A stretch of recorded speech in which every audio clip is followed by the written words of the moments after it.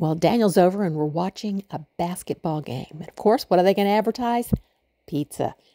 What better way to do it than fresh out of your own oven? Each day during the month of February, I will be using the $4.99 Costco rotisserie chicken as a springboard for a wide variety of easy, inexpensive, delicious meals that are generally very healthy. Tune in every day this month for a new recipe. It's so easy to make homemade roasted garlic. I just peel three to five bulbs of garlic and cut off the dry ends, sprinkle it with olive oil and salt, and wrap it up nice and tight in a bag of foil. Stick it in the oven at 350 degrees for 50 to 60 minutes. The garlic I just pulled out of the oven.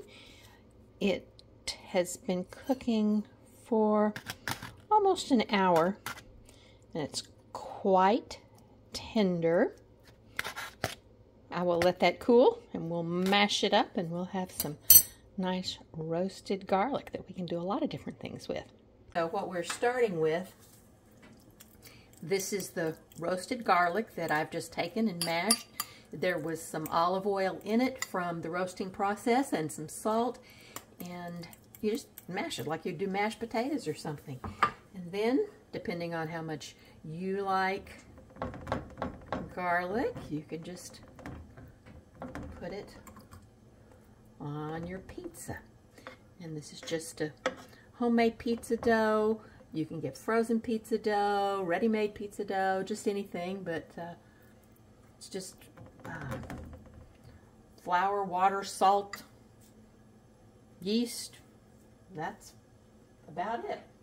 Now, the classic way to do this is just to take some of our rotisserie chicken, put that on here. You obviously want to have them such that if the whole thing comes off in your mouth, you're not stripping your pizza.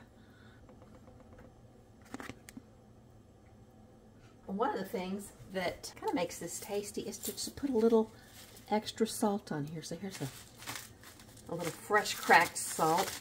I'll give you a little bite of salt. And a little bit of oregano. You can use fresh oregano or oven's preheated. Or just some dried oregano. And we're going to make ours little spinach here.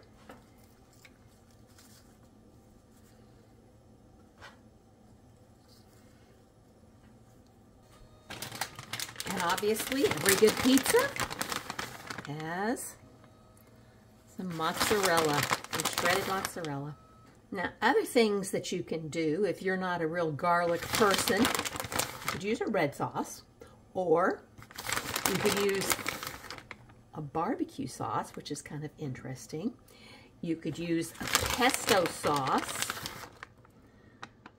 Those are the kind of the classic combinations. Um, another thing that's good with this, um, artichoke hearts are good in addition to the spinach. That's pretty tasty. I'm to add a little more oregano on the top. That makes it look kind of pretty. We're going to stick that in the oven for 15 to 20 minutes. We're to have pizza. 425. Garlic chicken pizza with some spinach and mozzarella all ready to sit down and eat while we watch a basketball game.